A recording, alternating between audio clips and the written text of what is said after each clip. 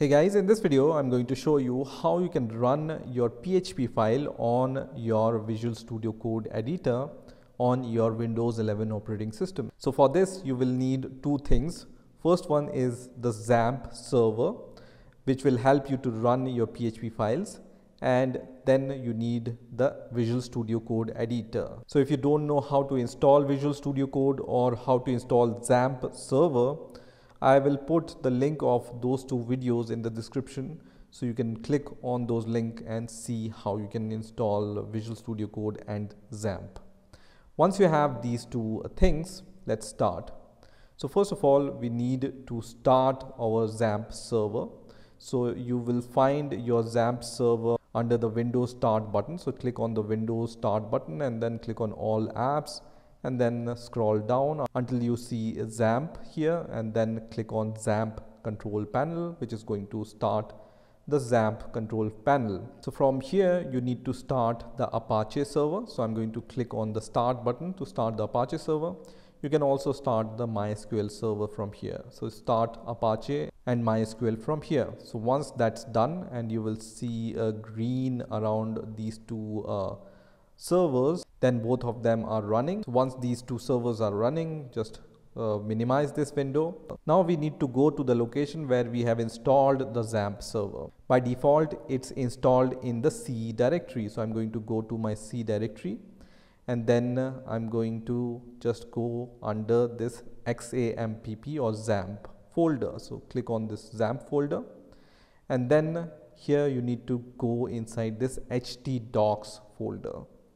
So once you are inside this htdocs folder, you can create any folder of your choice where you want to save all of your PHP files. So you can right click here and then create a new folder and name it anything. So I'm going to name my folder as my app. You can give any name to your folder. In my case, it's my app and then I'm going to press enter and then I'm going to go inside my folder. Now in here you can create a PHP file. So in order to create a PHP file on Windows, you need to create a text file and then change the extension of it. Otherwise, you can open Visual Studio Code here, right? So right click here and then click on show more options and you will be able to see this option which says open with code. So just click on this option which is going to uh, open this folder my app in Visual Studio Code. Otherwise, if you don't want to open it from here, you can just open Visual Studio Code first of all, and then you can uh, just copy the path of your folder which you have created recently, and then click on uh, File, and then click on Open Folder, and then just uh, give the path here, and then and then click on Select Folder which is going to open the same folder, right? So once you have opened this same folder, which is essentially this folder which we have created, you can see this folder name is my app. Here we can create our PHP file. So I'm going to name my uh, PHP file as test.php here, okay? And then press enter. And at this point, Visual Studio Code is going to recognize that you want to write some PHP code and you can see cannot validate since a PHP initialization could not be found. Use the settings PHP uh, path to configure this PHP executable, right? So for now, we are going to uh, just uh, close this window. Otherwise, if you want to set the PHP exe file, then you can uh, click on the open settings option. But we want to run PHP using the XAMPP server, right? So we are using right now Visual Studio Code as just the editor and everything will be taken care by our XAMPP server. So here you can just write a very simple PHP hello world program like this which just prints hello world in order to test whether it's running or not. And once you are done, just save your file. And once the file is saved, we can go to our browser and then uh, just uh, type localhost. And if you have added some port, you can also type some uh, port here, you can uh, know the port on which your uh, Apache server is running by just viewing this port under ports. You can see it's running on port 80 in my case and by default the local host will run on port 80.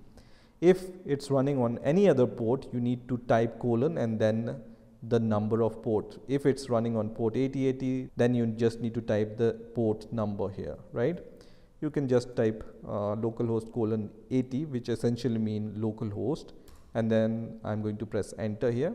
You can see the Apache server is running.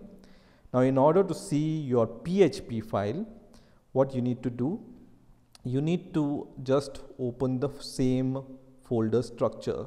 So you need to type the name of your folder which is my app and then test.php right so instead of dashboard, just write the name of the folder in which your PHP file is there and then the name of your file which is test.php in my case, right? And then press enter and it's going to show you this result which is hello world and you can see what we have printed hello world, right?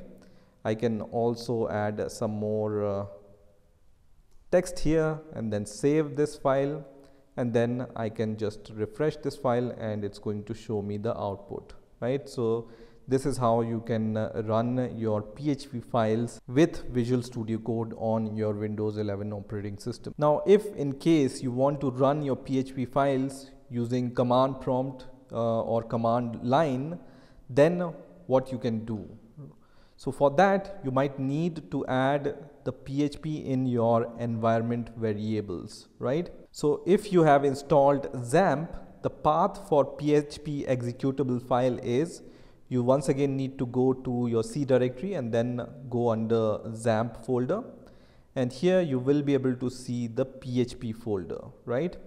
So here you will be able to see all the PHP related files and you can use php.exe to run your PHP files, right?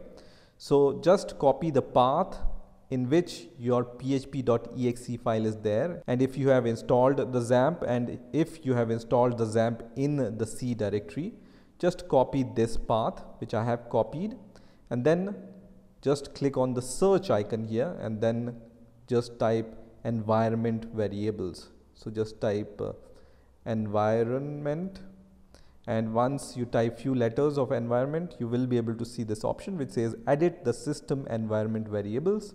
So I'm going to click on this and it's going to open this window. So here just click on environment variables and then select the path environment variable under system variables and then click on edit or double click on it.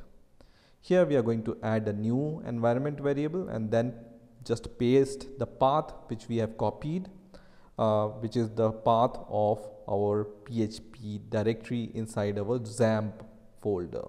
Okay, I'm going to press enter here and then click on OK, OK and OK. So once you have set the environment variables, you might need to restart your uh, Visual Studio Code. So I'm going to just uh, exit Visual Studio Code and I'm going to restart my Visual Studio Code in the same directory in which my PHP file is there. In my case, it's my app and in my app I have this uh, test.php file, right? Now, once I have restarted my Visual Studio Code, I can open the terminal from here. So I'm going to click on uh, terminal and then new terminal. And here you can see it has uh, started this uh, PowerShell terminal for me and in the right hand side I can see the list of all the terminals right. So once again terminal new terminal and by default because PowerShell is the default terminal on my uh, Windows 11 operating system it opens the same folder in the PowerShell if you are not a fan of PowerShell, you can also open the command prompt from here. So click on arrow, command prompt, and it will open the command prompt. Now, if you know some PHP commands, you might also know that in order to run your PHP file, you can just type PHP and the name of your file, which is test.php in my case, and then press enter. And you can see it prints the output which is hello world. So this was possible because we have set the PHP environment variable, right? If PHP environment variable is not set, this command is not going to work, right? And if it's not working, just restart your Visual Studio Code once again and try it. So if you want to test small PHP scripts, you can directly test uh, these scripts from here. Otherwise, you can uh, always use uh, this browser where your output will be shown, right? In addition, you can also install some popular extensions related to PHP, right?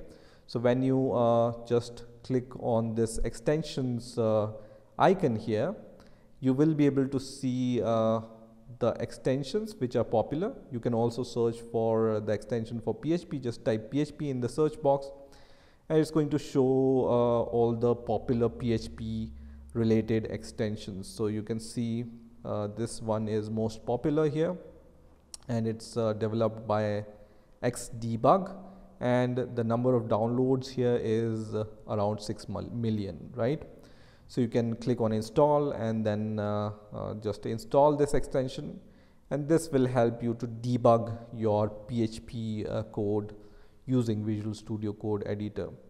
You also have the other popular extensions for let's say PHP code intelligence for Visual Studio Code and PHP extension pack is also here. So in this PHP extension pack some uh, popular packs are here for example PHP debug and PHP IntelliSense. So you can install all these uh, popular extensions and then uh, just try to use these extension in order to debug your code or run your PHP scripts, right? So this is how you can run PHP files on your Visual Studio Code I hope you've enjoyed this video and I will see you in the next video.